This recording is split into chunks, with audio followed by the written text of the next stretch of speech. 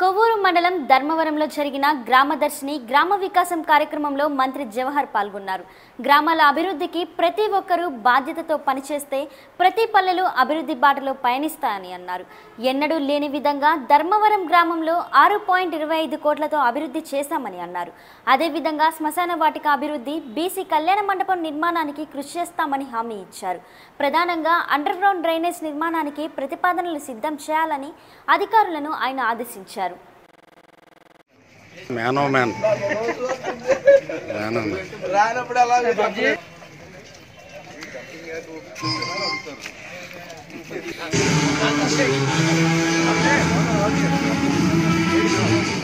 ఈరోజు ధర్మవరం గ్రామంలో గ్రామదర్శిని అదేవిధంగా గ్రామ వికాస యాత్రని చేస్తూ ముందుకు వెళ్తా ఉన్నాం. అదేవిధంగా ప్రత్యేకంగా చూస్తే దళిత వాడలు.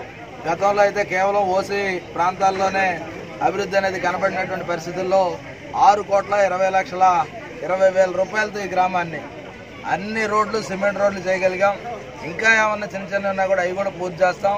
దాంతోపాటుగా శ్మశాన వాటికి కానీ ఇప్పుడు చూస్తే అంగన్వాడీ భవనం కానీ అదేవిధంగా ఇందాక రాజేంద్ర ఇచ్చినటువంటి దాతృత్వంతో చిన్న కళ్యాణ వేదిక కానీ అదేవిధంగా వాళ్ళకు కూడా కమ్యూనిటీ కూడా హామీ ఇవ్వడం జరిగింది.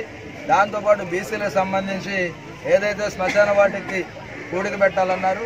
ఇమీడియట్గా ఎస్టిమేషన్ వేసి పట్టుకొస్తే అది నాలుగైదు రోజుల్లోనే పని ప్రారంభించి దాన్ని కూడా పూర్తి స్థాయిలో చేసి ధర్మవరం గ్రామాన్ని పూర్తి స్థాయిలో అభివృద్ధి చేసే బాధ్యత తీసుకొని పూర్తి చేయడం జరిగింది.